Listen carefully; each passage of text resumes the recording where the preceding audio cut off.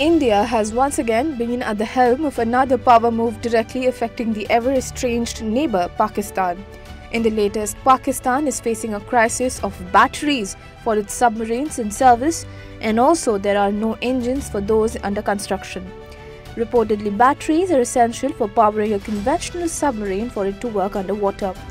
Pakistan had requested Greece for five such batteries for Agosta 390B and 270 class for French-made submarines.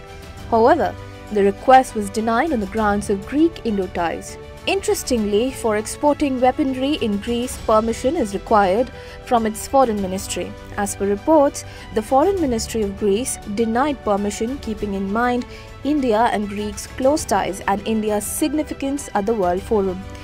In addition, Pakistan's cordial relationship with Turkey was also one of the reasons, which is also not on good terms with Greece. Meanwhile, Pakistan, after being denied of new batteries, is seeking an alternative option of getting the old batteries serviced by a subcontractor of the Greek firm it wanted to buy the batteries from. Interestingly, no government clearance is required for servicing like sales. However, even the latter process is also being discouraged looking at the present scenario. The recent event is a prime example of India's impressionable upper hand in the present geopolitical scene. Greece's denial of Pakistan's request will negatively impact Pakistan's naval defense capabilities, causing significant concerns for the country's military leadership.